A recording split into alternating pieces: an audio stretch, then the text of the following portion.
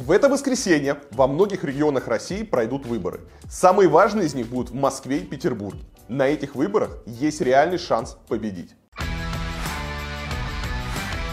В Петербурге будут выборы в муниципальные собрания – нам удалось зарегистрировать 430 кандидатов. Многие из них пришли из моего блога. Это адекватные молодые люди, которые любят свой город и хотят сделать его лучше. Это люди, которые разделяют те ценности, о которых я много рассказываю в своих видео. Мы провели собеседование с кандидатами, мы их проверили, и я уверен, что если они пройдут, они будут служить на благо Петербурга.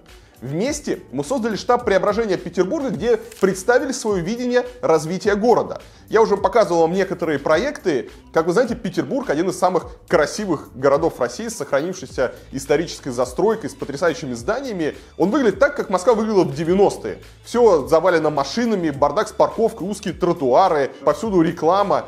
И Петербург нужно менять. Петербург должен быть европейским городом, он должен быть комфортным и безопасным. У муниципальных депутатов мало возможностей. Но если там будет много наших сторонников, можно будет не просто картинки рисовать и проекты показывать, а требовать реальных изменений от городских властей. Вам может показаться, что ваш голос ничего не значит, но это не так. Два года назад в Москве тоже были выборы в муниципалитеты, и некоторые депутаты прошли с перевесом буквально в несколько голосов а некоторые, наоборот, не прошли, потому что им не хватило тоже нескольких голосов. Два года назад мне удалось победить на выборах с перевесом всего в 15 голосов. Если бы эти 15 человек поленились и не пришли на выборы, то весь Совет депутатов состоял бы сплошь из представителей Единой России. В 2017 году я участвовала в выборах, где моим самым главным конкурентом был главный пресненский единорос, бывший председатель Совета депутатов нашего района Петр Петрович Петров. А, тем не менее, мне удалось его обыграть. А разница между мной и им была всего в 6 голосов. В 2017 году участвовала в муниципальных выборах в Москве. Тогда за меня проголосовало около тысячи человек, а за моего конкурента на 12 человек меньше. Именно поэтому очень важно, чтобы каждый из вас пришел и позвал с собой друзей. Еще раз, вот вы посмотрели этот ролик, вы придете, и это замечательно, но этого недостаточно. Потому что многие люди этот ролик не увидят. Ваши родственники, друзья могут вообще не знать, что будут выборы и что есть из кого выбирать. Поэтому, пожалуйста, обратите их внимание на то, что в воскресенье в Москве и Петербурге будут выборы, на которых реально можно избрать хороших людей. Все наши кандидаты идут при поддержке партии «Яблоко».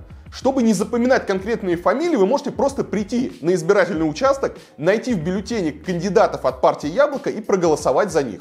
А если вы хотите подробнее про них узнать, в описании к этому ролику есть ссылочка на специальный сайт, там есть информация про всех кандидатов. В Москве будут выборы в Мосгордуму. Как вы знаете, почти всех оппозиционных кандидатов сняли, но нескольким все равно удалось зарегистрироваться. Главное, это восьмой округ. Дарья Беседина, наш кандидат от городских проектов. Она сейчас идет вровень с коммунистом Куминым, который назначил себя лидером оппозиции и пытается воровать у Даши агитацию. Я рассказывал это вчера, если пропустили ролик, тоже посмотрите.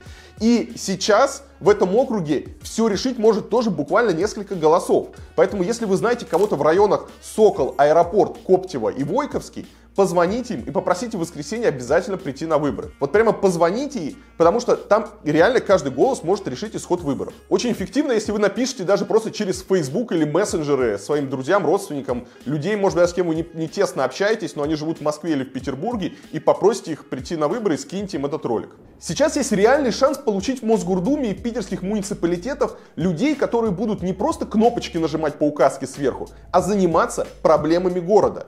Еще важно понимать, что большинство из тех, кто сейчас идет на выборы, это молодые люди, для них это вообще первый политический опыт. Они никогда до этого не ходили, э, некоторые из них вообще не занимались политикой. Поэтому важно этих людей поддержать, потому что многих из них ждет хорошее политическое будущее. И я уверен, если мы их сейчас поддержим, они будут работать на благо России и делать нашу страну лучше. Кроме Дарьи Бесединой, в Москве есть еще три кандидата от Яблока. Если вы живете в районе Левобережный, Головинский или Дегунина, проголосуйте, пожалуйста, за Евгения Бунимовича. Это уполномоченный по правам ребенка, э, хороший кандидат, и он может победить кандидата от «Единой России». В Останкино, Алексеевском, Мариной Роще или Ростокино можно проголосовать за Максима Круглова. Это молодой яблочник, и он тоже хорошие шансы имеет победить единороску.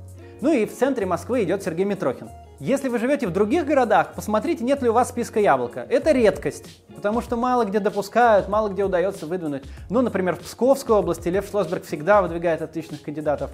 В Тульскую городскую думу выдвигается список. В Челябинске есть неплохие кандидаты в муниципальные депутаты от Яблока. Друзья, осталось два дня, два дня, когда вы можете сагитировать своих друзей, родственников, два дня, когда вы можете реально повлиять на ситуацию. Кто эту, в общем, мразь раскручивает ничтожно? Какие там деньги? Та самая либерастня. Они не понимают, что этим они открывают врата ада. Приходите на выборы, обязательно берите друзей и родственников, откройте врата ада для жуликов.